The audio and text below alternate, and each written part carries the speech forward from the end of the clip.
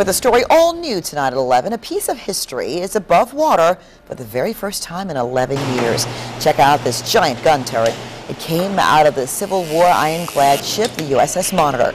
Normally, preservationists at the Mariners Museum keep it in a giant tank filled with water so it doesn't rust. But all this month, it's up and dry for cleaning and conservation. Well, the long-term goal for this baby right here is to have it out of treatment solution, out of moist treatment like it is in now, and on open air display across the building here in the monitor centers.